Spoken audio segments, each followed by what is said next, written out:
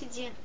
Сейчас ждем церемонию развода караула, пешего иконного караула в Кремле в Москве. Я полчаса стою и жду, когда начнется эта церемония, но вот-вот начнется. Все, давайте посмотрим. А о том, как купить билеты, как туда попасть, я напишу в своем блоге, хорошо?